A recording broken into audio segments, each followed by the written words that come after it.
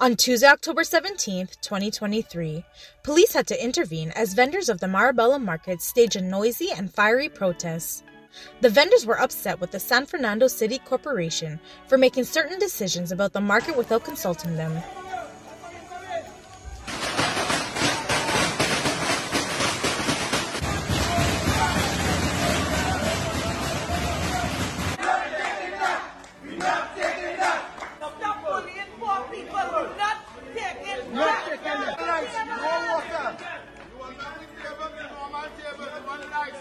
You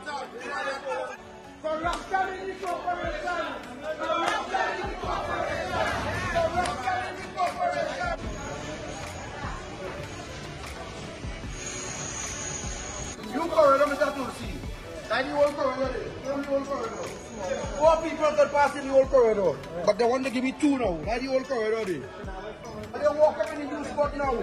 20 minutes in corridor in the market. Walk on the market. What's the. I'm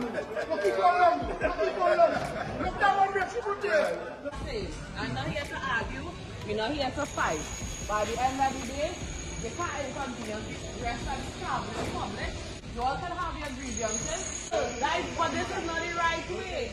This is not the right way. Go to the regional corporation and bear your grievances.